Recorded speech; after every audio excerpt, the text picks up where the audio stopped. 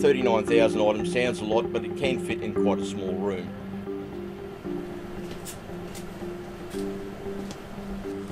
Collectors, the terminology that we probably most often are used by, but I like to see myself as a caretaker. So I'm caretaking history, so I can pass it on. I've worked with Queensland Museum. Um, they did a stock take back in 2012, and at that stage, I had over 39,000 items.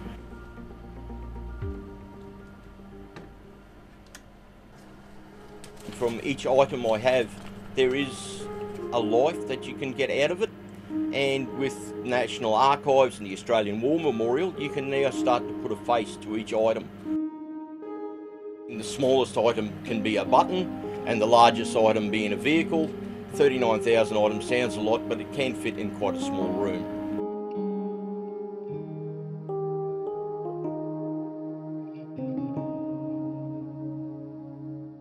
Right, what I have here is a Deutsches Jungvolk or early Hitler Youth.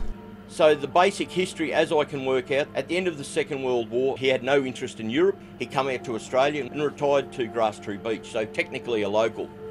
But when his mother died in the 80s, um, the family sent over to him a suitcase which had all his stuff from the Second World War.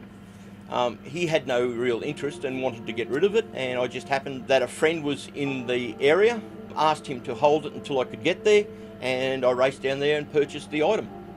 Okay, so what we have here on display, we have his swimming certificate, his promotion certificates for his promotions, his shooting certificate, and sports award. So, as young soldiers, they still did um, things that you would consider with education swimming and sports. It's a uniform for a 12 year old. It's not a soldier, it's a child.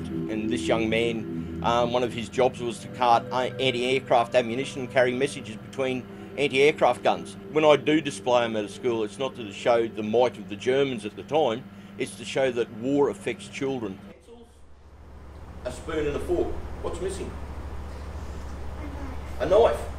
Now, unlike today, he actually takes his collection to a number of Mackay schools, both primary and, and high school. The kids do love it. I, I think uh, it's real. I mean, they can see real shrapnel. Phil is dressed as a real soldier. Um, he has recreated a trench. Um, so I think it's very much real to them. I liked it because I learned about how the uniforms changed. I was feeling very happy that I could see all sorts of Anzac pictures and all sorts of Anzac displays. Um, I like that we got to go into the trenches. Working with school students, and I like to think that we can build up a bit of a history and certainly get them to ask the questions of their parents, grandparents, and try to keep some living history going. I was a cadet so I, I had an interest in the military right from a young age.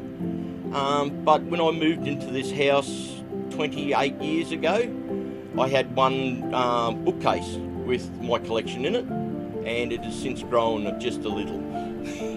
I've built um, two dedicated rooms now to store my collection, and from there it just um, it keeps growing. Being a cadet instructor for the last 25 years with the Air Force cadets, um, a lot of my cadets have since gone on to the military. When they leave the services and all of that, they quite often offer some of their gear. I've had the dump ring me say that someone dropped a suitcase of uniforms off. I've had um, stuff that have been dropped off from the op shops um, because they don't like to sell old military equipment. So it's become a bit of a network. We have an air conditioned room, even down to vacuuming the uniforms. So it's an ongoing thing. Um, sometimes you sit there and you go, oh, I don't really want to do it, but you know, you're in charge of looking after it. And I'd hate to think that something in my watch uh, we lose.